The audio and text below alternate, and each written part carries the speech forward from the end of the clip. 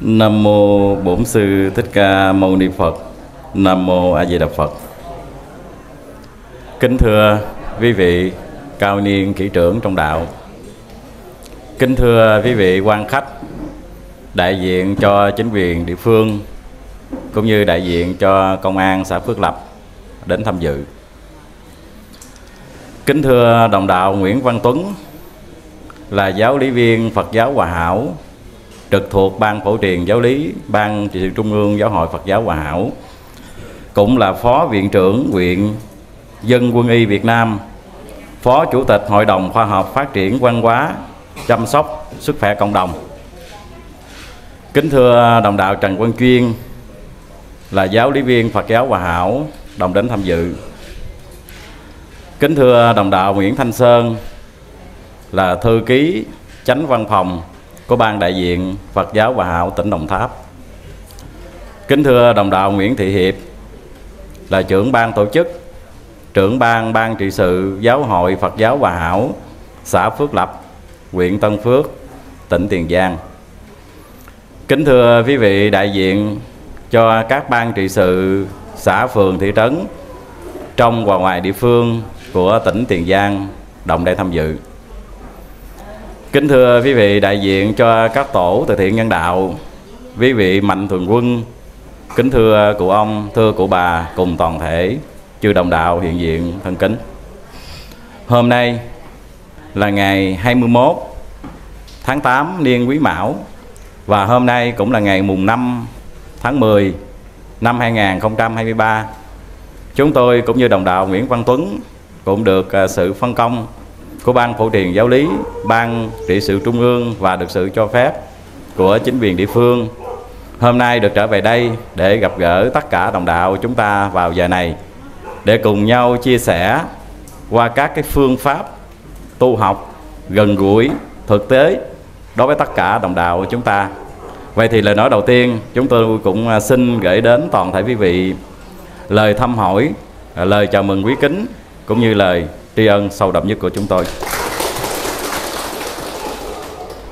Kính thưa quý đồng đạo à, thân kính, thì hôm nay đầy đủ nhiên lành ở một cái nơi vùng sâu, vùng xa, xứ đạo thì à, với một cái à, cơ sở làm việc cũng còn đang mượn tạm rất là nhỏ tuy nhiên thì với cái sự nhiệt huyết của đồng đạo Nguyễn Thị Hiệp trưởng ban tổ chức nơi đây và quý vị trong ban tổ chức thì à, chúng ta cũng có được những cái buổi thuyết giảng giáo lý ấm tình đạo vị như cái ngày hôm nay. Và giờ này thì để tranh thủ thời gian thì chúng tôi cũng trình bày một số cốt lõi trong vấn đề tu huệ theo đạo Phật giáo Hòa Hảo. Thì à, chương trình trình bày thì gồm có thứ nhất là chúng ta định nghĩa về các khái niệm của tu huệ. Rồi chúng ta trình bày một đôi nét về công năng trí huệ. Và hôm nay muốn đạt được trí huệ theo là đức thầy cũng như là đức phật, thì chúng ta cần phải tu hành như thế nào? Ấy, thì đấy là những cái yếu tố căn bản mà chúng tôi dành thời gian khoảng một giờ đồng hồ để chia sẻ với tất cả đồng đạo chúng ta. Như vậy thì trí tuệ là một cái sự sáng suốt tinh anh. Đây là cái khả năng sẵn có của mỗi con người chúng ta. Như vậy thì trí tuệ là những cái sáng suốt. Cái này đều có trong mỗi con người chúng ta và nó nó sẽ trải nghiệm trong cuộc sống và khi một người có trí tuệ hoặc là trí huệ thì chúng ta sẽ khai thác được cái à, cái những cái bộ bản thể, cái bản chất của mọi vấn đề, mọi sự vật ở trong cuộc sống. Cho nên hôm nay mỗi chúng sinh sinh ra cõi đời này thì ai cũng có trí huệ. Và đồng thời trí huệ này thì nếu nói theo cơ bản của nhà Phật thì phân làm hai loại. Một là cơ bản trí và hai là hậu đắc trí như vậy thì đây là chúng ta căn cứ theo kinh điển, theo Phật học. Thì à, trí huệ có hai loại. Một là cơ bản trí, hai là hậu đắc trí như vậy thì cơ bản trí, tức là muốn nói những cái điều cơ bản ở trong cuộc sống. Và những điều cơ bản này sẽ đi theo từng cái à, từng cái nấc thang, từng cái bậc, có thể nói là từng cái công đức của mỗi con người. Ví dụ như khi được sinh ra cõi đời này, thì à, yếu tố đầu tiên muốn nói là do cái định luật nhân quả chi phối cũng có những người sinh ra khôn khéo, học thì rất là lanh lợi, thông minh, học ít, hiểu nhiều. Rồi đồng thời cũng có những con người sinh ra học mà không biết.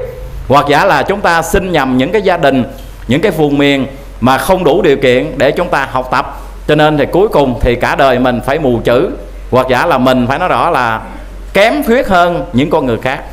Thì cái yếu tố, cái nền tảng căn bản đầu tiên muốn nói đây giàu phước hay giàu hay là huệ nhưng mà cái nền tảng, cái bước ban đầu đồng đạo thì hoàn toàn hoàn toàn do cái cái định nghiệp nó chi phối. Và những cái mà chúng ta trình bày ở đây là chúng ta trình bày khi đã có định nghiệp chi phối rồi. Mà nếu như chúng ta muốn yên ổn, tốt đẹp hơn ở thân sau, hoặc là ở trong hiện tại mà ở cái tương lai, thì chúng ta phải bắt đầu có hành động, bắt đầu mình phải có thực hiện. Cũng giống như một đứa em, thì khi nó sinh ra tôi nói ví dụ nó có phước đó, nó có một cái trí rất là thông minh, được sinh ra trong nhà giàu có. Nhưng mà nếu nó không học tập, nó không tham gia các lớp học, từ lớp mẫu giáo, rồi đến 12 năm học tập, rồi đi vào cái, các cái trường đại học, thì sự thông minh ấy nó sẽ trở nên mai một. Cho nên nó đã có thông minh, cộng thêm đi học, rồi cộng thêm nó cần cù học tập, thì đến lúc đó mới thực sự trở thành một con người hữu dụng, đồng đạo. Rồi đồng thời trường hợp cũng có những người mà mới sinh ra, rồi đi học, mà cũng trở nên dốt, thì đây là cái vấn đề, đó là do cái đặc thù của định nghiệp nó chi phối. Cho nên trong cuộc sống con người thì có ba hạng người, mà theo khổng tử dạy đó thì có ba hạng người. Hạng người thứ nhất là sinh nhi tri. Thì nếu nói về cái bậc sinh nhi tri thì cái bậc này có thể nói là sinh ra là người ta đã liễu ngộ, đã liễu thông. Thì bậc này trên thế gian này hiếm lắm. Thì trong đó có thầy chúng ta thuộc về hạng bậc sinh nhi tri. Tức là những bậc này không cần học, không cần phải học thì đã thông rồi. Bởi vì đây là những cái bậc xuất thế gian, tức là ở cái tiền kiếp, thì các vị này đã có tu huệ rồi. Chẳng những tu mà các vị này đã liễu ngộ, đã đắc được đạo rồi, cho nên sinh ra không học mà biết. Rồi cái hạng thứ nhì là học nhi, là sinh nhi học tri, tức là sinh ra có học mới biết, thì trong đó có tôi và quý vị.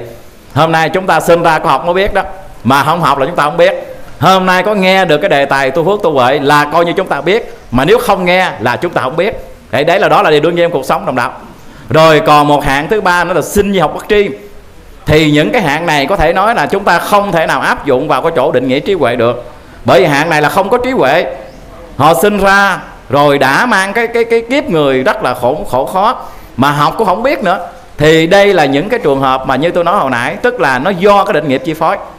Và đồng thời bên cạnh đó thì ngoài con người chúng ta ra thì có các loài vật cho nên theo mà cái định nghĩa của trí tuệ ở đây thì trí tuệ có thể chúng ta dành cho con người, chứ chúng ta không thể nào dành cho muôn loài. Dầu rằng muôn loài đều có phật tánh, chúng sanh đều có phật tánh, nhưng mà thường con người chúng ta chúng ta khôn hơn hết.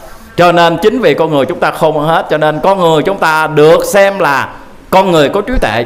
Chứ có ai nói mà con trâu, con bò có trí tuệ đồng đạo xin thưa là không có rồi. Cho nên những cái từ ngữ, nó có riêng, có chung, nhưng mà nó theo cái phạm trù về vậy cho nên nói đây tôi nhớ một cái mẫu chuyện ngụ ngôn. Thì thật sự đây là những mẫu chuyện thiếu nhi thôi. Nhưng mà chúng ta cũng cởi, kể cho nó vui. Bởi lúc bây giờ thì à, một cái anh cọp, chúa sơn lâm, thì anh à, đi xuống à, đi ra ngoài anh dạo.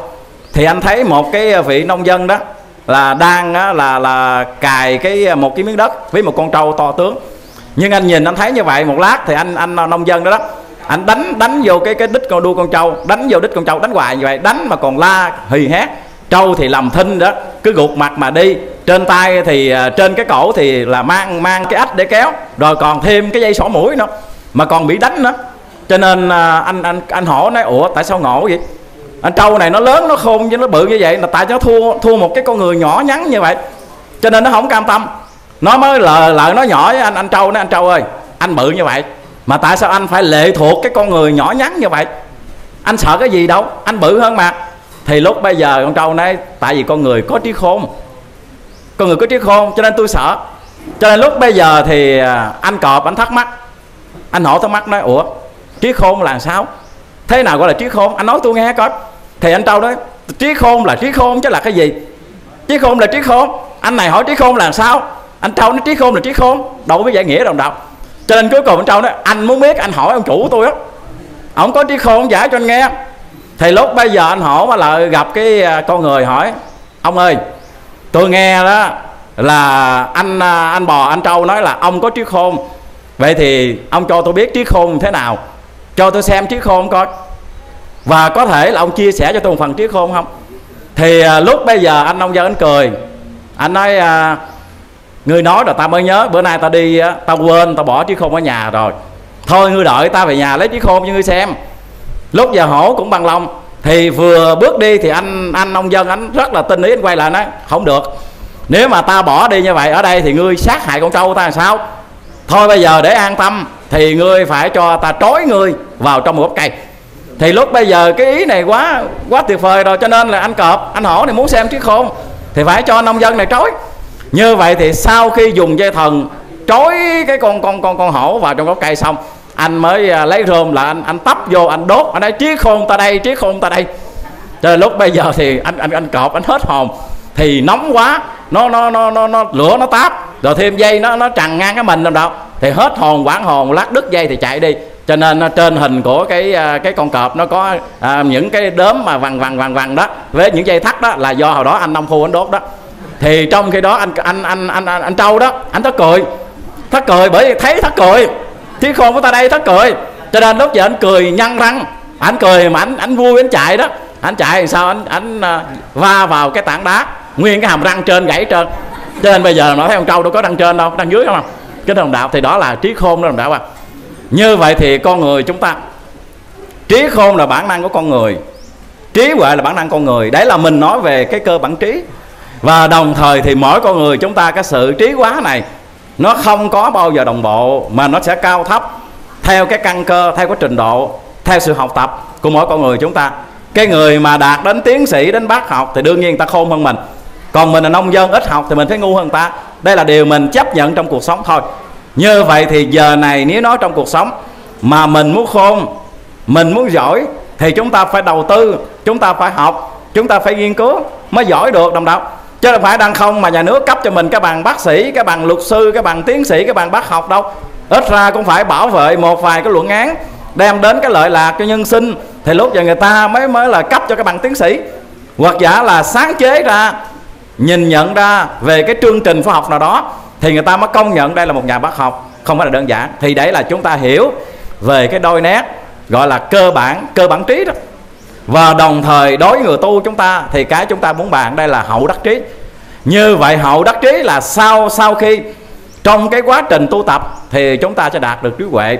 Thì đây mới là trí huệ mà chúng ta bàn. Đây là trí huệ, gọi là trí huệ giải thoát.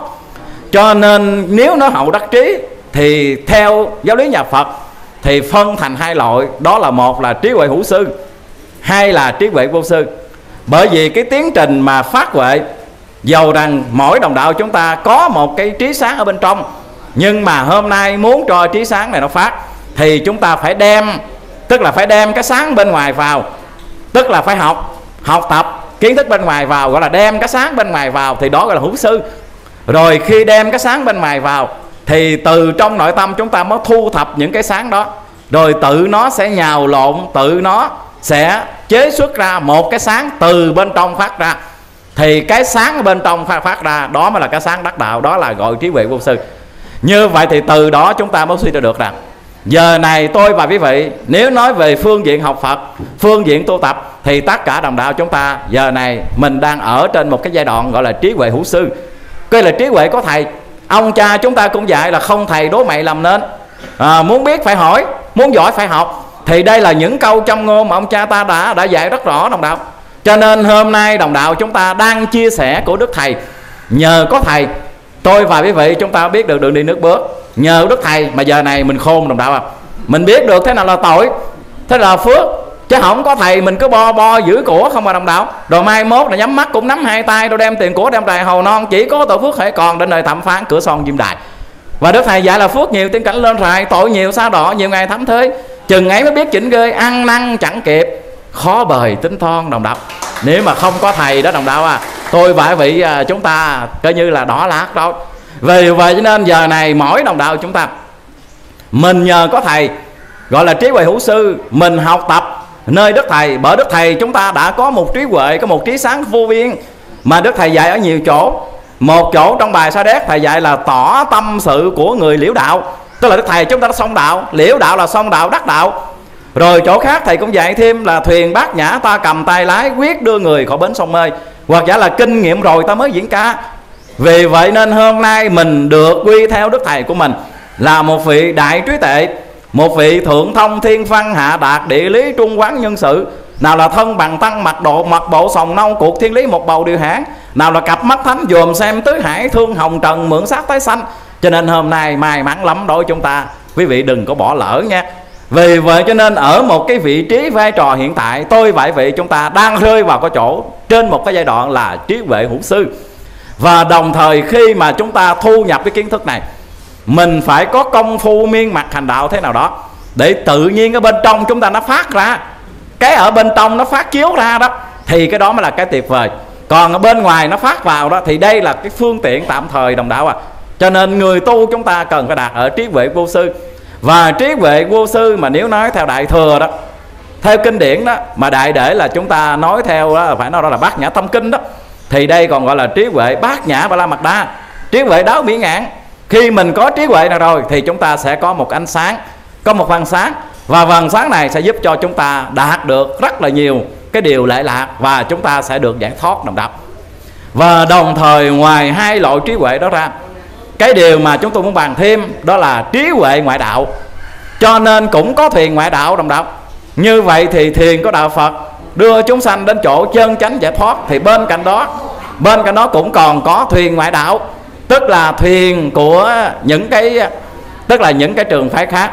Những cái trường phái mà chúng ta nói nôm na là không có đủ những cái yếu tố chính thống à, để đưa con người đến chỗ giải thoát. Vì vậy cho nên muốn nói ở chỗ này để làm chi? Để mỗi đồng đạo chúng ta răng đen. Để mỗi đồng đạo chúng ta có được một cái à, sự định hình trong cái à, đời sống của mình.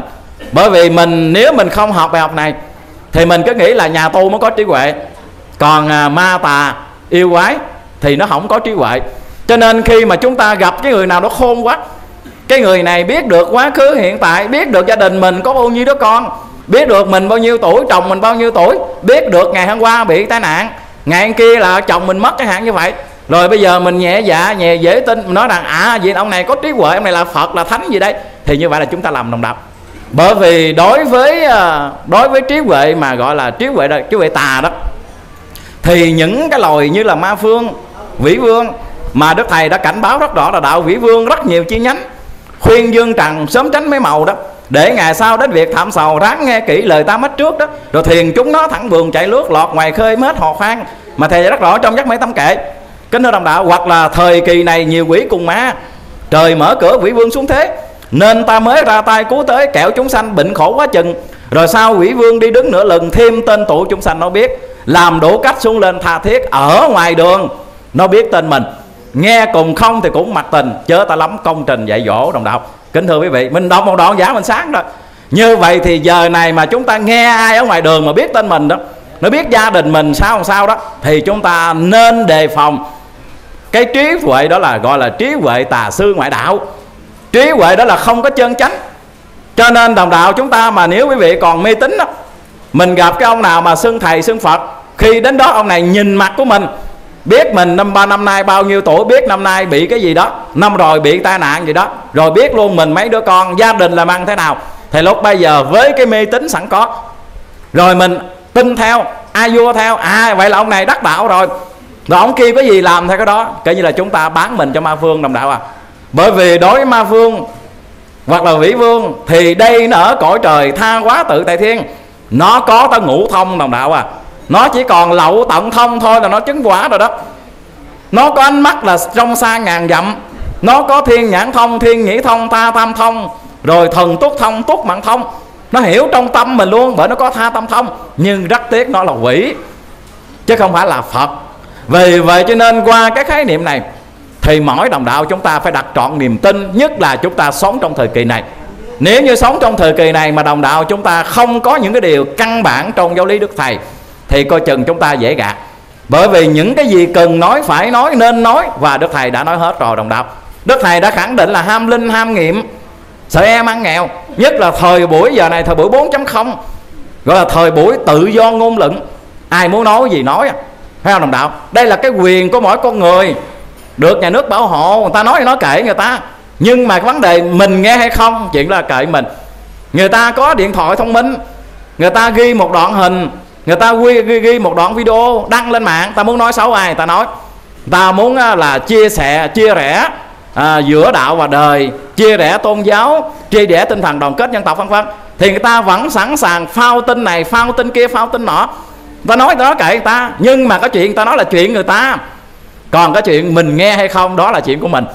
Không phải ai nói cái gì chúng ta cũng nghe đồng đạo à thời kỳ này mà nếu chúng ta nhẹ dạ chúng ta dễ tin là đồng đạo sẽ rơi vào cái chỗ như tôi vừa nói đó.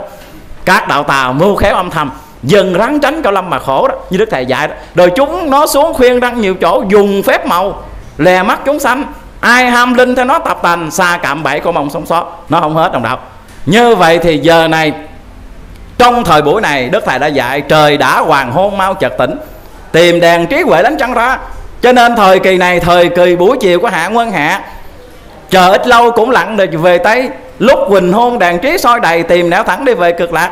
Vào cái buổi chiều hạ nguyên hạ, trời sắp lặng này, thì lúc bây giờ đạo tà mọc lên như nấm đồng đạo. Tam thiên lục bá khắp tam thiên lục bá khắp trần hải dân thầy dạy đâu phải là một mối đạo đâu, mà đức thầy cho biết rất rõ là tam thiên lục bá đó đồng đạo à. Rất là nhiều mối đạo. Để chi? Để tới xuống đây nó hại mình trong thời kỳ này. Cho nên lúc này mình phải cẩn thận mình nên bình tĩnh, đừng có nhẹ dạ đừng có dễ tin. Chúng ta nên tin thầy đi. Thầy nói sao, dạy sao, chúng ta nghe vậy. Và yếu tố thứ hai là chúng ta phải thượng tôn pháp luật. Pháp luật dạy cái gì, chỉ cái gì, nên làm thì chúng ta làm, không nên làm thì chúng ta đừng nên làm. Còn những kẻ mạo danh pháp luật, họ cho rằng pháp luật phải làm cái này theo họ, làm cái kia theo họ, chúng ta đừng có tin, bởi vì họ đang mạo danh pháp luật. Họ có một cái thủ đoạn, ý đồ riêng để họ thủ lệ đi họ, hoặc giả là có những cái thế chính trị gì ở bên trong. Cho nên giờ này, chừng nào pháp luật quy định cái gì mà chúng ta không đáp ứng, thì cái đó chúng ta mới lo. Còn giờ này pháp luật luôn bảo hộ người tu chúng ta. Ở mọi phương diện, không riêng đạo Phật giáo và hảo, mà tất cả các tôn giáo khác. Cho nên thời kỳ này, cái quan trọng đạo nên bình tĩnh. Từ từ, đừng có vội vã, đừng có hấp tấp. Chiều nay lên mạng, nghe tao nói đoạn gì hết hồn rồi chuyển tải thông tin, chết rồi, khổ tới rồi. Thế này thế kia. Thì cái đó là biểu hiện cho chúng ta bị một số bên ngoài nó gạt chúng ta đồng đạo. Mà số này phần đông nó rơi vào gọi là trí huệ tà sư ngoại đạo. Cho nên thì đấy là chúng tôi cũng xin nói thêm một số ý như vậy. Và đồng thời hôm nay, cái công năng của trí huệ, nếu như đồng đạo chúng ta có được trí huệ, thì yếu tố quan trọng đầu tiên là trí huệ sẽ cắt đi, cái công năng trí huệ sẽ cắt đi cái phiền não cắt đi cái phiền não của chúng ta, đồng đạo. Có sự rầu buồn, lo lắng trong nội tâm chúng ta. Bởi vì chúng ta còn mê. Mình chưa có trí tuệ. Mình còn chưa nhìn thấu đáo một vấn đề, cho nên chúng ta mới mới buồn, mới phiền như vậy. Mà khi chúng ta có trí huệ rồi, thì lúc bây giờ mình nhìn thấu đáo vấn đề, không có buồn, không có rầu nữa, đồng đạo. Hai cái này nó chằng chịch với nhau, móc xích với nhau. Nếu đồng đạo sinh phiền não nhiều, thì chúng ta càng tối. Nếu mà chúng ta không sinh phải phiền não, thì trí huệ nó sáng có nghĩa là khi có trí huệ thì không phiền não, mà còn phiền não thì chúng ta còn vô minh. Và cái công năng thứ hai nữa, khi mà chúng ta có trí huệ, thì lúc bây giờ nó sẽ tiêu trừ được cái nghiệp chướng của chúng ta. Cho nên hôm nay nghiệp mà đến với mình là bởi vì mình còn tối. Mà nếu như hôm nay chúng ta tu hành có được trí huệ, đồng đọc thì nhất định chúng ta sẽ được tiêu trừ chướng nghiệp. Như lời đức thầy dạy chúng ta trong cái bài hiếu nghĩa vi tiên, đó là kiếm huệ phi tiêu đoàn chướng nghiệp. Rồi cái công năng thứ ba nữa khi đồng đạo chúng ta có được trí huệ trong cuộc sống hiện tại, đương nhiên chúng ta là người giàu có, là những người thượng lưu, là những người lãnh đạo, những người cấp trên. Bởi mình có ăn học đây đó đàng, đâu đó đàng hoàng, người thông minh sáng suốt mà. Và đồng thời nói về phương diện tâm linh thì công, cái công năng sau cùng này giúp cho chúng ta không còn mắc trong sáo nẻo dạy khôn lưng hồi. Giúp cho chúng ta không có còn không già, không bệnh hết ngày nào lo. Khi mà có được trí huệ rồi thì coi như đồng đạo chúng ta giải thoát. Nếu mình không thành phật thì chúng ta cũng thành bồ tát. Mà nếu không thành bồ tát, dở dở gì chúng ta cũng thành những cái vị gọi là duyên giác, tức là bích chi phật. Mà tệ nữa thì chúng ta cũng thành những vị thinh văn. Tức là mình sẽ ra khỏi cõi đời này, tam đồ lục đạo này để chúng ta được giải thoát. Lúc giờ mình không còn bị cái sợi dây sanh tử luân hồi nó trói. Chúng ta không còn bị sự chằng chịch của nghiệp lực, của luân hồi trong cuộc sống này. Vì vậy cho nên cái quan trọng nhất của mỗi người tu từ xưa đến giờ thì đối tượng hướng đến đó là phải đạt được trí tuệ, bởi vì đây là công năng quá tuyệt vời. Như vậy thì căn cứ theo lời đức thầy và đức phật, khi chúng ta biết được các điều đó, thì ngay giờ này, quý vị, chúng ta cần tu phương pháp nào để đạt được trí tuệ? Cho nên về cái trình tự tu hành để đạt huệ thì theo nhà Phật, thì cũng như là Đức Thầy, thì bao gồm bốn yếu tố chính. Yếu tố đầu tiên đó thì còn gọi đây là tam huệ tam huệ học. Yếu tố thứ hai là gọi là tam học. Tam học gọi là tam à, tam vô lò học đó. Thì theo trong uh, kinh sách thì gọi là tam học. Còn tam huệ tức là văn tư tu gọi là tam huệ học và tam học. Rồi cái thứ ba nữa là gì? Đó là tu thiền và cái thứ tư là tu tịnh. Thì đây là bốn cái chương trình tu tập để mỗi đồng đạo chúng ta có được trí huệ. Thì để đạt được huệ có được những cái lợi lạc, những cái công năng như chúng ta trình bày, thì mỗi đồng đạo chúng ta phải đi từ mức độ đầu tiên, đó là chúng ta phải đạt ở chỗ gọi là tam huệ học. Kính thưa đồng đạo, như vậy thì tất cả các pháp môn tu ở trên thế gian này đều thông qua tam huệ học. Nếu như mà không có tam huệ học thì coi như chúng ta không đạt huệ. Vậy thì tam huệ học gồm có văn huệ tư huệ và tu huệ. Như vậy thì văn huệ là gì? Văn huệ là chúng ta học, đọc, nghe, nhìn như vậy thì đây là yếu tố căn bản đầu tiên. Nếu như một con người sống trong cõi đời này muốn đạt được vậy mà không học, không đọc, không nghe, không nhìn thì coi như chúng ta không đạt được đồng đạo phải không quý vị? Bởi vì cái gì cũng phải có một cái à, sự đầu tư trong đó. Cho nên hôm nay muốn đạt được trí huệ thì yếu tố đầu tiên chúng ta phải học. Học cái gì? Thì mình là người tu phật, thì chúng ta phải học phật.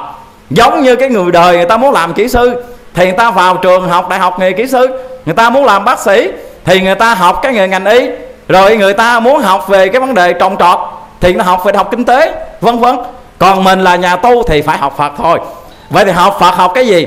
Học phật là chúng ta học những điều ông phật dạy. Ông phật dạy cái gì? Chúng học cái đó. Cho nên hôm nay đức thầy chúng ta ra đời mở đạo. Đức thầy xác định rất rõ, giảng này ra cuối mùa thu, dạy ăn, dạy ở, chữ tu vuông tròn hoặc giả là ta yêu chúng, viết ra giảng kệ, khuyên tăng đồ cùng các tín đồ, nghe cạn lời cho có mờ hồ, tìm hiểu nghĩa, làm theo đắc đạo. Kính thưa đồng đạo, như vậy thì giờ này tôi và vị chúng ta học bắt đầu giảng thầy. Nếu đồng đạo có điều kiện tuổi trẻ, có trình độ, thì đồng đạo chúng ta học lời đức thầy. Đây là điều mà đồng đạo thấy rõ đó. Nếu mà không học lời đức thầy, thì biết đường đâu chúng ta tu. Biết đường đâu chúng ta tu huệ đồng đạo? Bởi vì bao nhiêu những cái cốt lõi, bao nhiêu những cái công thức tu hành thì đức thầy đã dạy hết rồi. Như đức thầy dạy rất rõ là bao nhiêu tâm não gốt tôm dặn dò kỹ lưỡng trăm nôm cấp cùng. Trước khi đi xa thầy đã căn dặn rất rõ rồi phải khá trí tâm học hành kinh sám thoát nơi miền hắc ám phong ba. Rồi đức thầy dạy rất rõ nào là kệ kinh tưởng niệm cho sành ngày sau thấy phật đành đành chẳng sai. Nào là kệ kinh tưởng niệm đêm thanh ấy là châu ngọc để dành ngày sau. Đức thầy dạy rất là nhiều chỗ trong đạo cho nên hôm nay về cái phương diện này không thể thiếu. Tất cả đạo chúng ta phải học. Có điều kiện đồng đạo mở từng trang, đọc từ lời đức thầy. Còn nếu không có điều kiện mà chúng ta học được thì chúng ta nghe. Nhất là cô bác lớn tuổi. Thì có thể chúng ta đầu tư cái máy phát giảng. Mà như đồng đạo Úc Tấn nói hồi nãy, tôi rất là tâm đắc đề này, đồng đạo. Bởi vì phước huệ song tu mà. Cho nên hôm nay chúng ta phải đầu tư, đâu có bao nhiêu tiền, đồng đạo. Còn nếu đồng đạo nào có điều kiện nữa, chúng ta đầu tư một cái điện thoại thông minh mà đây là điều mà chúng ta thấy chúng tôi thấy rất là cần thời buổi này. Để chúng ta đem Phật pháp về nhà. Bất cứ nơi đâu chúng ta cũng nghe Phật pháp, đồng đạo à. Không có còn mà phải nói như ngày xưa nữa. Chỉ cần đồng đạo mua một cái máy phát thẻ, vừa máy vừa thẻ trên dưới khoảng hơn trăm ngàn. Mà nếu có chỗ nào người ta bán mà người ta hỗ trợ có một trăm ngàn à chỗ nào mình mua thẳng ở ngoài mắc một chút là gần 200 ngàn, vừa vừa là 150 ngàn. Thì quý vị, chỉ cần chúng ta ghim sạc thôi. Thì mình hát phải nói rõ là ngày này qua tháng nọ mình đem Phật pháp vào nhà của mình. Thì đó là nghe đó hoặc giả là có điều kiện đồng đạo để dự thuyết giảng là chúng ta nhìn đó. Hôm nay đến đây là vừa nghe, vừa nhìn nè. Cho nên văn vệ phải đạt ở chỗ gọi là học đọc nghe nhìn đây là bốn yếu tố để chúng ta quy định ở các cái giới hạn tuổi, tùy theo điều kiện mà mỗi đồng đạo chúng ta có thể học tập trong cái cuộc đời tu hành của mình. Và quý vị nhớ rằng quá trình học tập ở đây là quá trình chúng ta vay mượn. Ở đây tôi và đồng đạo Úc Tuấn cũng đang vay mượn đồng đạo à. Vay mượn lời Đức Thầy, vay mượn lời Thánh Nhân vay mượn lời của Phật để kết sâu lại thành những cái bài nói chuyện đối với tất cả đồng đạo chúng ta. Và giờ này quý vị cũng phải vay mượn là đức thầy. Mình vay mượn và sau khi vay mượn xong thì đồng đạo chúng ta sẽ có sự tư duy. Thì khi mà chúng ta nhào nắng lại trong cái con con người chúng ta, trong cái nguồn tư tưởng chúng ta, thì lúc bây giờ mình mới phát sáng đồng đạo à.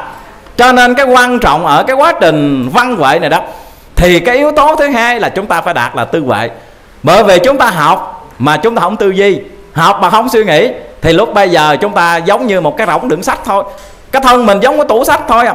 Cho nên ông ba mới dạy là việc sách đèn, miệng đọc tai nghe, không hiểu lý như ghe chở khẩm, đâu có đạt kết quả trong đọc trong khi thầy dạy chúng ta là phải nghe cạn lời cho có mờ hồ, tìm hiểu nghĩa. Nghe cạn lời cho có mờ hồ là văn vệ tìm hiểu nghĩa là tư huệ vì vậy nên hôm nay mỗi đồng đạo chúng ta khi nghe là đức thầy, thì đồng đạo chúng ta sẽ có cái mối nghi. Nếu mà tu mà không nghi, thì xin thưa đồng đạo, chưa phải. Mình nghe, mình phải đặt một vấn đề chứ. Tại sao câu giảng này thầy dạy thế này? Thầy dạy thế khác, ý như thế nào? Mình phải nhu cầu học hỏi, nhu cầu tìm hiểu. Thì trong quá trình mà chúng ta nhào lộn trong nội tâm của mình, thì từ đó là chúng ta mới sinh ra cái của mình. Còn lúc đầu mình chỉ vay mượn mà vay mượn không tư duy, không suy nghĩ là chúng ta chưa có của. Mình mới mượn vốn làm ăn, mình chưa có lời đồng đạo và đồng thời trong quá trình mượn vốn làm ăn thời gian, thì mọi đồng đạo chúng ta phải tư duy thế nào đó để chúng ta có lời. Và đồng thời khi mà chúng ta mượn vốn là đức thầy làm ăn, thì mình sẽ phát hiện ra rất là nhiều chỗ mà đức thầy dạy chúng ta cần phải đạt được trí huệ. Cho nên ở đây tôi xin đưa ra hai chỗ thôi, đồng đạo. Hai chỗ mà chúng ta cần phải thực hiện ngay trong đời sống chúng ta cho nên đức thầy dạy người học đạo, muốn có được trí tuệ phải diệt trừ cái vô minh tối tâm ngu muội. Đức thầy dạy rất rõ, người học đạo muốn mở mang trí tuệ, cần phải diệt trừ cái vô minh tối tâm ngu muội. Thì đức thầy dạy rất rõ chỗ này rồi. Và đức thầy dạy thêm đó, muốn diệt trừ cái vô minh, trước phải điêu luyện khối tinh thần cho mạnh mẽ. Đặng tự lập rõ ràng duy nhất con đường mối đạo mình đang học, để đến đó làm những cương mục mà bài trừ những thành kiến, cố chấp, thói quen sự chần chờ, lòng ham muốn, tánh kiêu ngạo, tật đố, dèm xỉm, vua nịnh, ích kỷ tư tâm, sự gây gỗ mới đắm trong bể dục tình và những điều phiền não. Nếu ta bài trừ được rồi, tất nhiên trí huệ được mở mang vậy. Như vậy thì đây là 13 cái tật trong nội tâm chúng ta đồng đạo. Cho nên giờ này mà khi chúng ta học là đức thầy, đến cái đoạn này trong cái bài trong việc tu thân sửa kỹ thì tôi tin tưởng rằng đồng đạo chúng ta phải dừng lại thôi. Bởi vì quá tuyệt vời đây là cái phương pháp mà thầy đã đưa ra một cái câu, một cái lời dạy rất rõ đó. Người học đạo muốn mở mang trí huệ cần phải diệt trừ cái vô minh tối tâm ngu muội. Thì tôi phải vị là nãy giờ mình đang học đạo nè bởi mình đang bàn văn huệ nè. Cho nên đây là trúng cái bệnh của mình. Mình học đạo để mong cầu được mở mang trí tuệ. Như vậy muốn mở mang trí tuệ thì đây là 13 con ma. 13 tật xấu, có thể chúng ta tạm gọi 13 con ma cũng chính 13 cái tánh này nó ở trong nội tâm chúng ta, cho nên nào đó dở làm chúng ta tối đồng đạo. Cho nên hôm nay muốn sáng, thứ nhất là chúng ta phải bài trừ, thứ nhất là thành kiến. Vậy thì thành kiến còn gọi là định kiến đó. Tức là thành kiến, định kiến nó cũng gọi là biên kiến đồng đạo. Đây là những từ ngữ. Có nghĩa là chúng ta có những ý định mà gần như là mình không thay đổi đồng đạo à. Có nghĩa là mình có một thành kiến người nào đó. Tôi nói hồi đó, mình chưa tu đó, mình ghét người ta, mình giận người ta bởi người ta hại mình, thì đấy là có một thành kiến đó. Nhưng mà giờ này mình tu rồi, thì coi như cái chuyện cũ chúng ta bỏ qua. Mình làm lại từ đầu đồng đạo. Thì như vậy đó, mới thật sự là chúng ta là cái người phát khai trí huệ. Còn hôm nay mình tu rồi, mà mình có một cái thành kiến người đó, mình không có bỏ được. Mình không ưa người ta, mình cứ ghét người ta hoài. Thì như vậy là đường tu không phát triển đồng đạo. Cho nên hôm nay chúng ta tu là mình phải lấy cái lòng quân tử nha đồng đạo. Chúng ta quên đi những cái sự cũ mình khép đi những cái quá khứ đau khổ để chúng ta bắt đầu làm lại từ đầu. Mình nói gọn vậy đó. Còn nếu như người nào mà hôm nay tu hành bước vào con đường đạo mà đồng đạo còn thành kiến ngay đó, hầu đó nó thật sự bà chồng tôi không ưa bà được. Đó mà làm khổ tôi. Hầu đó là chị em bạn dâu làm khổ tôi nè. Tôi nhớ hoài, chết rồi. Cái nhớ hoài đó là cái làm mà chúng ta càng đi sâu vào vô minh. Cho nên hầu đó thì nhớ. Bây giờ thì quên. Giờ rảnh đầu nhớ chuyện đó, đồng đạo. Bây giờ thiếu chuyện để nhớ không quý vị phải không? Một lát chúng ta bàn nhiều cái việc cần phải nhớ nè. Cho nên đấy là những cái mà chúng ta phải bỏ, thì đó là thành kiến đó. Rồi ngoài thành kiến đó, thầy dạy còn cố chấp nữa quý vị. Như vậy là cố chấp có nghĩa là chúng ta chấp vào những cái sai lầm của mình. Cái đó là cái sai. Nhưng mà người ta nói thì mình mình buồn người ta không chịu bỏ đồng đạo. Cho nên cái tánh mà cố chấp, quý vị thấy, chẳng những ở trong đạo, mà luôn ngoài đời. Quý vị có một đứa con mà cố chấp thì quý vị không chấp nhận được rồi đó bức đức khó chịu, có nghĩa là họ chấp thủ vào cái sai lầm của họ, nói không chịu sửa đồng đạo vì vậy cho nên hoàn toàn cũng do bản ngã chúng ta. Như vậy thì ngoài thành kiến cố chấp, đức thầy còn dạy là thói quen. Vậy thì hôm nay mình phải thay đổi thói quen. Hồi đó chưa tu, chúng ta có nhiều thói quen lắm. Thói quen à, chúng ta đó, khi mà đêm nào nằm chim bao thấy linh linh nghiệm nghiệm nó sáng ngày bàn đề, mua số đề, số đuôi, vân vân. Thói quen chúng ta sáng phải là cả các quán cà phê này, tôi cũng có thói quen đồng đọc rồi thói quen của mình buổi trưa phải đánh cờ. Thói quen của mình năm bảy bà gặp với nhau á, thì đánh tứ sắc hoặc giả là bàn có chuyện của thiên hạ vân vân. Như vậy mình có nhiều thói quen.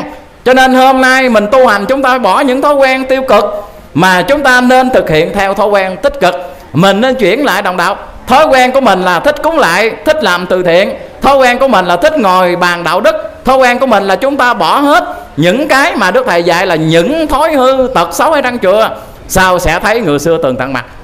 Kính thưa đồng đạo, thì đó là những cái mà chúng ta thấy rõ là mình bỏ cái thói quen. Rồi ngoài cái sự thói quen ra, đức thầy còn dạy là sự chần chờ. Có nghĩa là hôm nay tu hành mà chúng ta còn chần chờ. Thì cái chần chờ chúng ta là gì? Đó là cái biểu hiện của vô minh, đồng đạo. Cho nên hôm nay không chần chờ nghe. Đức thầy dạy tu hành mà mãi năng nghi, sợ ta gạt gẫm cũng kỳ cho dân. Hôm nay tu là không chần chờ. Giác ngộ ta đâu, làm ta đó, đồng đạo. Còn nếu như giờ này, đồng đạo tu hành mà chúng ta còn chần chờ, đợi mai, đợi mốt thì đồng đạo nhớ một điều cái số vô thường không chờ đợi chúng ta. Cho nên cái sự giải đại yếu ớt chần chờ trong nội tâm chúng ta thì những cái này nó cũng biểu hiện cho vô minh. Nó không bao giờ giúp chúng ta đạt huệ được. Rồi ngoài thói quen sự chần chờ rồi đức thầy còn dạy là, là, là tức là sự ham muốn nữa. Rồi đức thầy dạy rất rõ là tánh kiêu ngạo. Cái nơi đồng đạo như vậy là tiêu ngạo cánh cái tánh cái tánh kiêu ngạo là phải nói rõ là những cái này là phải nói gọn là gần như là cống cao ngã mạng đồng đạo tánh kiêu ngạo là chúng ta thấy rõ, đây là mình không sử dụng được rồi. Một con người mà ngã mạng, mà cao mạng chừng nào thì người đó càng tối đồng đập. Bởi vì đức thầy dạy rất rõ là tâm trần tục phải phân, tâm trần tục còn phân nhân ngã thì làm sao thoát khỏi luân hồi. Rồi ngoài tánh kiêu ngạo nó còn tật đố đồng đập. Có nghĩa là đố kỵ á, tật đố đố kỵ, cái người nào giỏi hơn mình, bằng mình thì mình ghét người ta. Ngộ không? Người ta giỏi hơn mình, ta bằng mình, ảnh hưởng gì mình đâu. Nhưng mà vì tật đố, rồi chúng ta không ưa người ta, ghét người ta đừng nói chi ngoài đời, trong đạo cũng vậy, đồng đạo.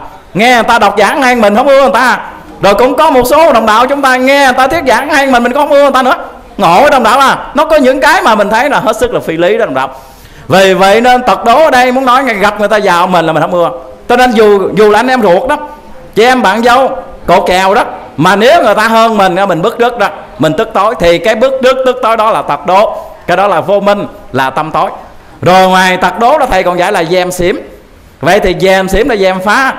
Người ta làm, mình không có giúp đỡ. Mà chúng ta nói đon nói ghen nó ra nó vào nó vào nó ra, chúng ta giúp lời, không giúp tiền. Cái này là cái mà tôi rất là sợ, đồng đó bởi vì mình chỉ chém gió không à mình chỉ nói mà cho người ta thì không cho. Hôm nay ban trị sự đó được sự đồng ý của trong ban.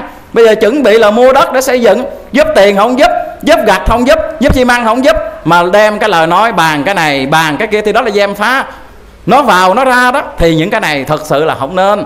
Chúng ta không nên. Mình phải nghĩ tích cực một chút. Rồi ngoài tật đố dèm xỉm, ích kỷ tư tâm nữa. Ích kỷ tư tâm là gì? Có nghĩa là mình làm việc gì? Hoàn toàn vì mình, không bao giờ chúng ta vì người khác. Trong nội tâm mình rất ích kỷ. Ích kỷ cái gì cũng riêng mình hết. Làm cái gì cũng nghĩ cái lợi cho mình. Còn đem cái lợi cho người khác là chúng ta không không chấp nhận đồng đạo. Cho nên cái khái niệm mà ích kỷ tư tâm đó mà đức thầy dạy ở đây thì đây là những cái mà chúng ta nên dồn lại bản thân mình, nhiều khi tu lâu ra chứ mình còn ích kỷ tư tâm. Bởi vì cái điều gì có lợi cho mình mình ham lắm, mình muốn lắm, mà cái điều có lợi người khác thì lại là chúng ta lại lại hầu như là mình không có được quan tâm lắm, không có mạnh mẽ lắm. Thì đó là cái điều đi trái ngược với cái tinh thần từ bi bác ái của phật, của thầy. Bởi vì thầy dạy chúng ta rằng đạo phật là đạo từ bi bác ái, dĩ đức kháo sanh văn hồng đại độ, đồng đắp vì vậy nên hôm nay chúng ta nên sống vì mọi người. Đừng sống vì mình thì bao nhiêu đó từ từ chúng ta sẽ sát rồi bên cạnh đó thầy còn dạy ngoài cái việc ích kỷ tư tâm, rồi sự gây gỗ nữa. Có nghĩa là hàng ngày mà đồng đạo chúng ta còn gây gỗ đó. Như đức thầy dạy điều đón cấm thứ nhì, ta chẳng nên gây gỗ lẫn nhau, hãy tha thứ tội lỗi cho nhau trong khi nóng giận. Mà giờ này tôi nói trong gia đình chồng vợ mà còn gây gỗ với nhau, cha con mà còn gây gỗ với nhau, anh em mà còn gây gỗ với nhau, thì đó là chúng ta càng tối có ai gây gỗ mà sáng không đạo thì rõ ràng chúng ta càng gây gỗ là mình càng tối. Cho nên tuyệt đó là chúng ta không gây gỗ nha. Hầu đó chưa tu thì còn gây gỗ. Hơn thua, lời qua tiếng lại, nhịn không được. Nhưng mà giờ này chúng ta phải nhịn hết đồng đạo à. Mình cái người tu phải thua thiệt. Cho nên khi mà chưa tu đó, thì mình hơn thua người ta từ từ từ chút à. nhưng mà giờ này mình tu rồi thì đồng đạo nhớ phải thua thiệt. Cái thân là giả, cuộc đời là tạm giả.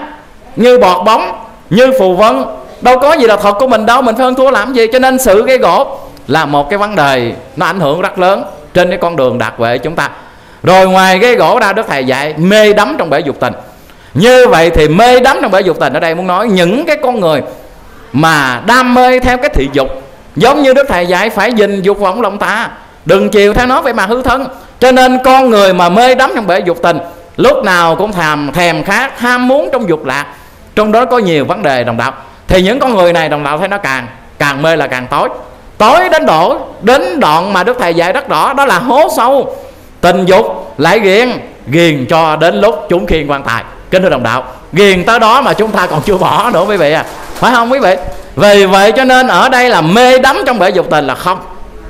Mình phải tuyệt đó là không. Trong nội tâm mình mình phải nói với mình, hôm nay mình tu rồi, mình đang tìm con đường giải thoát mình đâu còn lạ lắm nữa đồng đạo. Những cái vấn đề này mình đã kinh qua trong cuộc sống của mình rồi. Thì giờ này chúng ta cũng phải cần biết dừng. Tu hành phải biết dừng. Tu hành phải biết buông. Mà tu mà không dừng, tu mà không buông, thì lúc đó tu cho lấy khó thôi. Tu chơi vậy thôi, không thành đồng đạo rồi không thành đâu, không thành phật đâu. Coi chừng tu như vậy người cũng thành người nữa kìa. Chứ đừng có nói chi mà thành phật. Vì vậy nên những yếu tố này rất là căn bản trong cuộc sống. Mà đức thầy đưa ra những khái niệm này rất là phù hợp, nói là hiểu ngay rồi ngoài cái việc mê đắm trong bể dục tình, rồi đức thầy còn giải thêm rất rõ là sự ghế gỗ, mê đắm bể dục tình. Rồi những cái sự phiền não, thì đây là những cái vấn đề mà mỗi đồng đạo chúng ta phải dẹp ngay, nhất là tư tưởng phiền não, như tôi nói hồi nãy. Cho nên hôm nay chúng ta tu hành mà chúng ta còn buồn, chúng ta còn giận, chúng ta còn phiền, thì coi như đó là chúng ta đang buồn mình, đang giận mình, đang phiền mình. Trong khi đức thầy dạy là mây ganh hờn, đầy lòng nghi ngút giữ dạ trong đừng đục mấy màu. Mỗi khi mà trong tư tưởng của quý vị quý vị mà buồn ai đó, thì quý vị hình dung giống như bầu trời đang trong vậy đó. Tự nhiên chúng ta kéo cái đám mây lại, chúng ta văng ngang cho ông trời ông tối. Tự mình làm mình tối, ai là mình tối đồng đạo? Tự mình bôi lọ cho mình thôi. Vì vậy nào đó chưa học phật, chưa biết ha thì mình buộc, chịch chút là buồn ông này. Buồn người kia, buồn chồng, buồn vợ, buồn con, buồn cái. Nhưng giờ này biết đời buồn chi cho nó mệt trả đồng đạo mình buồn là mình đang bôi lọ trong cái mảnh tâm thanh tịnh của mình. Mình đang kéo mây, mình che lại cái vần trăng nhật nguyệt của mình. Cho nên hôm nay chúng tôi không có không có sự phiền não đồng đạo thì đó là những cái điều căn bản mà đức thầy dạy để chúng ta thực hiện cái phương pháp đạt huệ đó. Rồi cái thứ hai nữa, cái thứ hai nữa, khi mà đồng đạo chúng ta đọc đến cái bài môn hoàng diệt, thì lúc về đồng đạo thấy rõ đây cũng là một cái phương pháp để đoạn trừ cái vô minh, tức là sự có tâm ngu muội cho nên có nhiều cái phương pháp diệt trừ vô minh, nhưng mà hai cái điều căn bản nhất mà đức thầy dạy trong tôn chỉ. Như chúng tôi vừa nhắc là cái chỗ vừa rồi trong cái bài trong việc tu thân chữ kỹ và chỗ thứ hai nữa thầy rất rõ, nếu ta tìm con đường bát cánh đạo của phật mà đi, giữ tâm thanh tịnh, làm việc nhân từ, không lòng hờn giận, chẳng giả gắt ganh, chuyên tâm niệm phật, giúp thế độ đời, và đừng chứa điều phiền não để bụng tham lam ích kỷ, lần lần trí huệ mở mang, có lòng sáng suốt, thì màn vô minh sẽ bị diệt mất, đồng đạo rõ ràng đây là một án văn mà chúng ta đọc. Biết ngay là đây là một án văn. Một cái công thức để đức thầy dạy chúng ta diệt trừ cái màn vô minh tâm tối để chúng ta phát huệ.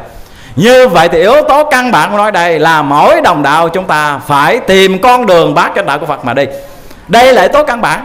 Cho nên hôm nay khi mà chúng ta văn huệ đó, mà học đến bài bát chánh đạo thì đồng đạo biết ngay đây là quyển kinh nhật tụng. Và khi chúng ta học xong rồi chúng ta tư duy. Thì khi quá trình tư duy bát chánh đạo mà thầy dạy ba lần trong tôn chỉ của ngài, thì lúc bây giờ mình mới cảm nhận được như vậy là có chánh, thì có tà, có bát chánh, thì có bát tà. Như vậy cũng vì bát tà, nó làm chúng ta gây nghiệp. Cũng vì bát tà mà tôi và vị chúng ta tâm tối. Vì vậy cho nên hôm nay muốn được sáng, thì đi theo con đường bát chánh đạo, còn gọi là nguyện quyển kinh nhật tụng, thì mỗi đồng đạo chúng ta phải diệt trừ bát tà kính thưa đồng đạo mỗi đồng đạo chúng ta phải có chánh kiến để chúng ta không bị tà kiến mỗi đồng đạo chúng ta phải có chánh tư duy để chúng ta không còn bị tà tư duy mỗi đồng đạo chúng ta làm ăn phải chánh nghiệp để chúng ta khó thoát khỏi tà nghiệp mỗi đồng đạo chúng ta phải luôn luôn tinh tấn tu hành tránh tinh tấn để chúng ta không rơi vào tà tinh tấn mỗi đồng đạo chúng ta phải thúc liễm thân tâm để chúng ta sống trong cánh mạng để rồi tà mạng không có chỗ phát khởi rồi lời nói chúng ta phát ra phải hoàn toàn là chánh ngữ thì khi lời nói chánh ngữ, thì tà ngữ nó không còn. Rồi khi mà chúng ta tư tưởng, ghi nhớ của mình, thì phải đạt chỗ chánh niệm. Mà khi có chánh niệm, thì không bao giờ còn tà niệm. Rồi đồng đạo chúng ta phải suy gẫm chân chánh. Có được chánh định, ý định, để có được một định hướng chân chánh, thì lúc bây giờ tà định không còn. Vậy thì đây là phương pháp đối đãi đồng đạo nếu đồng đạo chúng ta còn tà kiến, còn tà tư duy, còn tà nghiệp, tà tinh tấn, tà mạng, tà ngữ, tà niệm, tà định, thì đời đời kiếp kiếp không bao giờ chúng ta phát huệ được, đồng đạo à trên con đường này rất là quan trọng đó. Dầu rằng chúng ta làm mọi phương tiện trên cuộc đời tu của mình, dầu chúng ta cúng lại, có ăn chay, có niệm phật, có làm từ thiện rất là nhiều, nhưng mà đồng đạo còn tám cái điều tà này, thì khẳng định một điều là chúng ta đi không xa không xa đồng đạo. Cho nên hôm nay muốn có được trí tuệ thì đây là cái con đường đầu tiên mà thầy dạy chúng ta cần phải đi theo lộ trình của bác chánh đạo. Kính thưa quý vị. Và đồng thời bên cạnh đó thì đến phương pháp thứ ba. Phương pháp thứ hai tiếp theo. Tức là cái mà chúng ta bàn nãy giờ là đi theo một công thức gọi là tam tam huệ học, tức là văn tư tu. Thì nhờ có tư duy, mình mới phát hiện trong lời thầy có nhiều cái hay. Nhưng mà chúng ta chỉ đem ra hai cái hay thôi.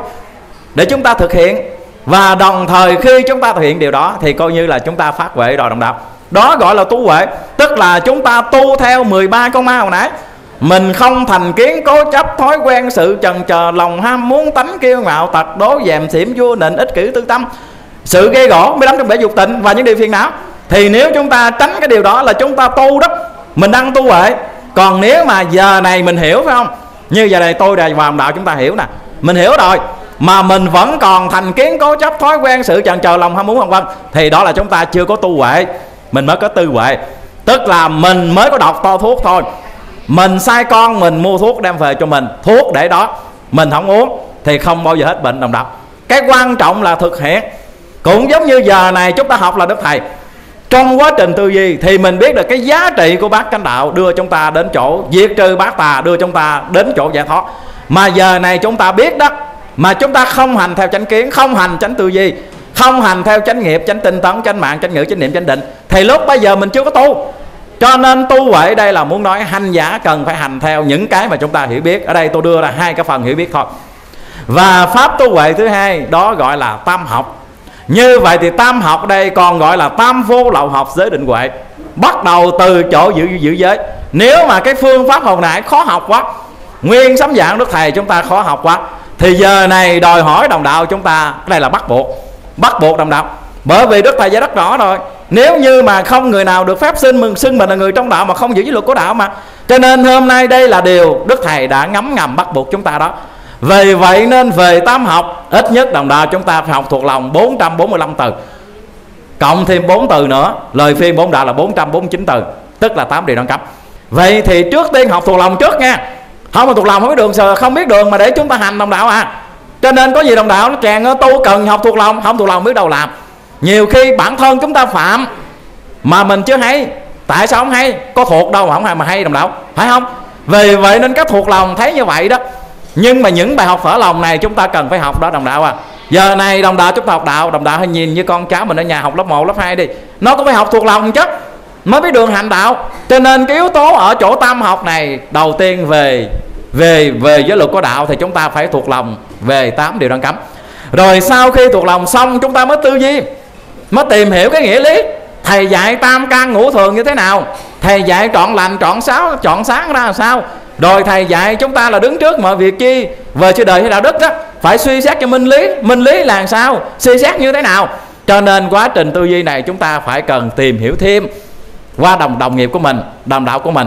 Và khi chúng ta tư duy xong là mình biết được biết được 8 điều đang cấm nhờ tư duy, chúng ta mới biết được đó là một ngàn điều. Có rất là nhiều điều, chúng ta biết được rằng đó là gồm học Phật tu nhân, biết được trọn lành, trọn xác là coi như giải thoát rồi. Thì biết được các điều đó, bắt đầu chúng ta thực hiện. Trong đời tu của mình mình nguyện với mình mình kiểm mình trong cuộc sống hàng ngày, từ sáng tới chiều, từ chiều tới sáng, từ ngày này sang tháng nọ, từ tháng này sang tháng khác, từ năm này sang năm kia. Tuyệt đối không phạm một điều nào trong tám điều đang cấm. Thì đó gọi là chúng ta đã hoàn mãn. Hoàn mãn về giới rồi trong đó. Mình không phạm tới điều đang cấm. Thì khi mà tôi bảy vị không phạm tám điều đang cấm, không phạm với luật của đạo, thì giống như cái dòng sông chúng ta ngăn hai bờ. Thì khi dòng sông ngăn hai bờ, đương nhiên tâm chúng ta sẽ định. Chúng ta sẽ định và từ trạng thái định này mà trí huệ phát khai đó gọi là tam học gọi là tam vô là học giới định huệ. Rồi cái phương pháp thứ ba tiếp theo nữa là mỗi đồng đạo chúng ta phải tư thiền. Chúng ta phải tu thiền đồng đạo. Mà đức thầy dạy là hành đạo thiền cấp cấp sớm phía lòng thương chúng thiền răng đủ thế. Vậy thì tu thiền đạo phật giáo và hảo có phải là ngồi thiền không? Có phải là chúng ta ngồi khay cái, cái lối kiết già từ ngày này sang tháng nọ đồng đạo? Thì đó là cách tu thiền của những vị người ta xuất gia còn người tín đồ Phật giáo và hào chúng ta tu tại gia, thì đức thầy đã dành riêng cho chúng ta thiền tại gia. Thiền tại gia của đạo Phật giáo và hào chúng ta không ngoài câu giảng mà đức thầy dạy, ai ai, hãy đáng xét mình, nếu còn tánh xấu thì rinh ra ngoài. Kính thưa đồng đạo. Hay hoặc là thầy rất rõ, ngồi đâu cũng sửa, vậy thì mới mau. Thì đây là thiền của đạo Phật giáo hảo chúng ta đó. Chỉ cần đồng đạo chúng ta lúc nào cũng nhìn mình nhìn hành động của mình, nhìn lời nói của mình, quay lại nhìn tư tưởng của mình. Cái gì xấu, cái gì phạm với luật, cái gì tồi tệ, chúng ta đuổi ra ngoài, thì lúc bây giờ chúng ta hoàn toàn là còn cái tốt. Thì đây là cái thiền thiền của đạo Phật giáo hảo chúng ta. Đơn giản, nhưng mà có hiệu quả. Bởi vì nhiều khi đồng đạo chúng ta ngồi thiền, nhưng mà chúng ta ngồi thiền nhập thất như vậy. Một tháng chúng ta nhập thất tôi cho nửa tháng đó. Còn nửa tháng chúng ta đâu nhập thất đâu. Hoặc giả là chúng ta nhập thất một ngày, một tháng nhập có ngày hai ngày à? Còn lại là 29 28 ngày đâu nhập thất đâu. Còn người tín đồ Phật giáo họ chúng ta, ngày nào, giờ nào, phút nào, giây nào, chúng ta cũng nhập thất hết. Bởi vì đức thầy rất rõ rồi. Ở chỗ này đồng đạo, rất rõ rồi. Ngồi đâu cũng sửa, vậy thì mấy mau là chúng ta nhập thất trên mọi thời gian. Thì đó là thiền học đạo Phật giáo và hảo và đến cái phương pháp sau cùng để chúng ta đạt vậy thì giờ này trong các phương pháp thì đây là phương pháp dễ thực hiện nhất, là mỗi đồng đạo chúng ta phải đêm ngày nhớ Phật cho thường, phải ráng lo lường kim chỉ từ đây. Vậy thì giờ này mỗi đồng đạo chúng ta hành trì pháp môn tịnh độ. Pháp môn tịnh độ đạo Phật giáo và hảo dầu rằng đây là pháp tịnh, nhưng mà thực sự Đức Thầy chúng ta đúc kết lại trong thiền có tịnh, trong tịnh có thiền đồng đạo à cho nên hôm nay vào thời kỳ này tu thiền để chúng ta miên mật tư duy trong nội tâm chúng ta, để chúng ta đẩy lùi những cái thư tật xấu, để chúng ta luôn luôn sống vì mình, sống ở chính mình, trở nội tâm của mình, thì điều này rất là khó. Chi bằng vấn đề này thì mỗi căn cơ trình độ ai cũng làm được. Mỗi đồng đạo chúng ta chuyên trì niệm phật. Nếu đồng đạo chúng ta chuyên trì niệm phật thì đương nhiên một mặt là chúng ta được tâm yên lặng, không còn vọng niệm chúng sanh, được Đức Phật tiếp rước trong ngày bỏ xác. Mặt khác trong cuộc sống hàng ngày, chỉ cần đồng đạo chúng ta có niệm Phật, thì chúng ta có cơ hội phát sáng. Bởi vì Đức Thầy dạy ở nhiều chỗ, nếu nói về công đức, thì Đức Thầy dạy rất rõ là cứu khổ Nam Mô Vô Lượng Phước. Nhờ niệm Phật mà phước sanh vô lượng. Rồi cái vấn đề thứ hai về vậy thì Đức Thầy dạy rất rõ là cư gia tịnh độ tâm viên mãn. Người tín đồ tại gia cư sĩ, nhờ niệm Phật mà được tâm sáng suốt. Tâm viên mãn là tâm trọn đầy cho nên hôm nay trong đề tu chúng ta, đây là pháp môn dễ thực hành nhất. Đồng đạo quên cái gì thì được nha. Ví dụ bây giờ chúng ta quên bát chánh đạo, quên tám điều đoạn cấm, thì nhiều khi tuổi già lớn tuổi rồi, chúng ta thoạt nhớ thoạt quên, tuổi tôi mà tôi còn quên lên quên xuống này đồng đạo. Huống chi quý vị, nhưng mà chúng ta quên cái gì thì được. Nhưng mà tuyệt đối là nam mô a di đà phật, sáu chữ, đi đứng nằm ngồi ráng niệm chớ quên không đợi gì thời khắc. Kính thưa đồng đạo, cái gì quên được, cái này là quên không được, đồng đạo bởi vì cái này là cứu tinh. Này là cứu tinh. Nếu mà chúng ta quên cái này, ai cứu mình? Quý vị nên nhớ kỹ, sau khi chúng ta bỏ xác thân này, chỉ có đức phật a di đà mới đầy đủ điều kiện để cứu chúng ta. Mà giờ này, ai nhớ phật a di đà nhiều chừng nào, thì khả năng được tiếp độ càng cao. Còn nếu như chúng ta nhớ phật a di đà mà nhớ ít quá, thì khả năng tiếp độ càng thấp. Vì vậy nên trong cái quá trình sống, trong quá trình còn thở thì tôi mong rằng quý vị đồng đạo chúng ta ráng niệm phật. Mình niệm phật nhiều chừng nào, chúng ta được sáng chừng đó đồng đạo. Khi mình niệm phật, mình đã chia sẻ được cái vô lượng quan từ đức phật a di đà để rồi chúng ta được tiếp nhận về cái phần tinh anh, được cái nội năng, được sáng trong tâm chúng ta. Mà đồng đạo nhớ nghe, hôm nay chúng ta niệm phật để sáng tâm. Vì vậy đồng đạo phải niệm phật trong tâm. Lúc cầu nguyện và niệm phật, chỉ niệm trong tâm. Niệm phật trong tâm mới sáng tâm còn niệm phật ngoài khẩu, ngoài miệng miệng thì niệm phật, lòng thì tà gian. Thì niệm như vậy, càng niệm nó càng tối, đồng đạo à. Phải không quý vị? Cho nên yếu tố quan trọng muốn nói đây là mỗi đồng đạo chúng ta phải niệm phật trở về nội tâm bên trong. Như vậy thì giờ này căn cứ theo lời đức thầy, theo kinh điển, chúng ta muốn có được trí huệ. Yếu tố căn bản quan trọng nhất trong cuộc sống, thì yếu tố đầu tiên là chúng ta phải học giảng thầy. Học mới biết đường thầy để thực hiện. Và đồng thời bên cạnh đó ngoài cái việc học ra thì chúng ta phải áp dụng cái kỹ năng học của mình. Mình phải áp dụng kỹ năng học của mình trong cuộc sống. Học ngoài đời thì chúng ta áp dụng để chúng ta làm việc ngoài đời. Học trong đạo chúng ta áp dụng để chúng ta tu hành. Cho nên đây là vấn đề cần phải có đối người tín đồ Phật giáo và hảo. Và sau khi học rồi thì lúc bây giờ quý vị sẽ phát hiện ra những cái vấn đề mà chúng ta làm sai. Phát hiện những vấn đề mà chúng ta cần phải thực hiện trong cuộc sống giả tạm của mình để rồi trong một kiếp này, tôi và vị chúng ta cố gắng. Nếu như một người tu mà có được trí tuệ, có được lời đức thầy để học hỏi, nghiên cứu, thì người tu này không làm sai đồng đạo. Sở dĩ trong đạo chúng ta có những cái điều dị biệt, có những cái vấn đề dị đoan mê tín, có những đời giống vấn đề thời cuộc thiên cơ, đồng thời có những cái vấn đề gọi là người sau thêm thắt đó, thì hoàn toàn xuất phát từ cái chỗ chúng ta ít có nghiên cứu là đức thầy. Chứ nếu như mỗi đồng đạo chúng ta ai cũng nghiên cứu là đức thầy thì tôi tin tưởng rằng chúng ta biết, đương nhiên chúng ta phải có làm. Tôi nói ví dụ hôm nay chúng ta biết mình làm chưa có nổi, nhưng mà cái người biết đỡ hơn cái người không biết, cái đồng đạo mình biết mình làm sai, đỡ hơn mình làm sai, mình không biết. Cho nên cái người mà biết mà làm sai, thì người này có khả năng phục thiện. Còn cái người mà không biết mà làm sai đó, thì đời đời kiếp kiếp họ sẽ đi sâu vào trong ta mát đạo, bởi vì họ đang làm sai mà họ không biết. Cho nên cái vấn đề này để chúng ta phá chấp. Có nhiều đồng đạo nói rằng, chàng ơi ông chí tâm thuộc kinh điển nhiều lắm, ông có hành đạo gì đâu, có làm được gì đâu. Nhưng mà thuộc kinh điển mà không hành đạo, đỡ hơn cái người mà không thuộc kinh điển cũng không biết đường hành đạo. Mà không thuộc kinh điển, biết đường đâu mà hành đạo. Cái đó chỉ có đường hành tà, chứ không hành đạo, đồng đạo à. Vì vậy nên hành đạo và kinh điển thì hai yếu tố này gắn liền với nhau trong tam học văn tư tu như tôi nói hồi nãy. Cho nên hôm nay người tín đồ Phật giáo bảo chúng ta thì giờ này thực hiện đúng là đức thầy. Đức thầy chúng ta vắng mặt rồi. Nhưng mà mai thay thầy để lại quyển sấm giảng thi văn toàn bộ. Quyển sấm giảng thi văn toàn bộ thay thầy đi dìu dắt tất cả đồng đạo chúng ta. Nếu như người nào gần với biển giảng thầy là chúng ta gần thầy đó. Ta là, tuy là kẻ vô hình hữu ảnh, ẩn sắc phàm nhìn đạo thích ca đồng đạo.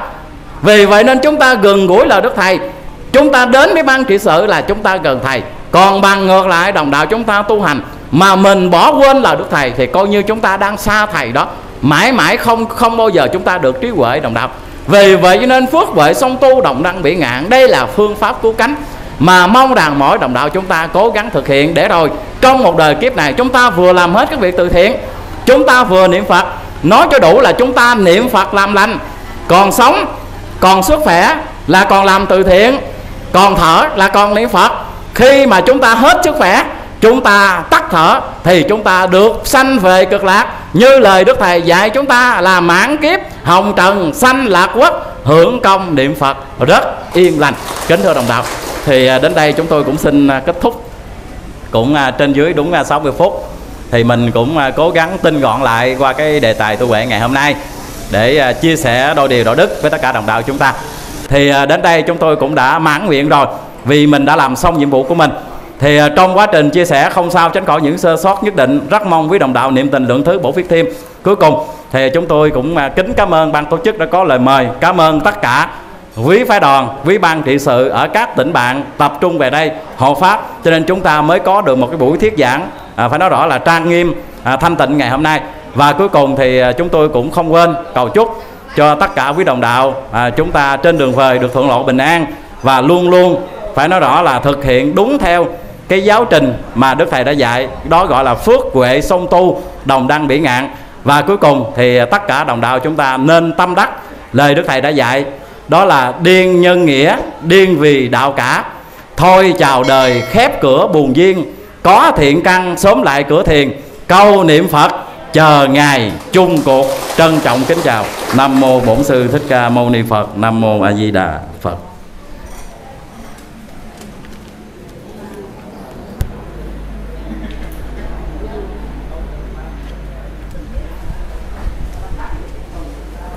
Dạ, xin chân thành cảm ơn ông giáo Lý Duyên đã có lời hay ý đẹp cho ban trị sự Phật giáo Hòa Hảo xã Phước Lập. Xin chân thành cảm ơn ông.